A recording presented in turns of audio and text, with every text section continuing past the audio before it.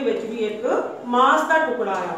ਪਰ ਬੱਚਿਓ, ਇਸ ਤੋਂ ਪਹਿਲਾਂ ਕਿ ਉਸਦੇ ਮਨ ਦੇ ਅੰਦਰ ਦਾ ਲਾਲਚ ਜਾਗਦਾ, ਉਸ ਕੁੱਤੇ ਨੂੰ ਆਪਣੇ ਨਾਲ ਕੁਝ ਦਿਨ ਪਹਿਲਾਂ ਵਾਪਰੀ ਹੋਈ ਪੁਰਾਣੀ ਘਟਨਾ ਯਾਦ ਆ ਗਈ ਕਿ ਕਿਵੇਂ ਲਾਲਚ ਦੀ ਵਜ੍ਹਾ ਦੇ ਨਾਲ ਉਸ ਨੂੰ ਸਾਰਾ ਦਿਨ ਭੁੱਖੇ ਰਹਿਣਾ ਪਿਆ ਸੀ।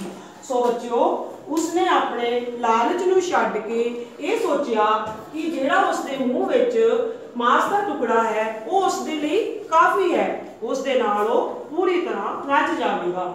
ਇਸ ਕਰਕੇ ਬੱਚਿਓ, ਉਹ ਚੁੱਪਚਾਪ ਉਸ ਪਰਛਾਵੇਂ ਨੂੰ ਅਣਦੇਖਿਆ ਕਰਕੇ ਆਪਣੇ ਘਰ ਵੱਲ ਨੂੰ ਤੁਰ ਪਿਆ।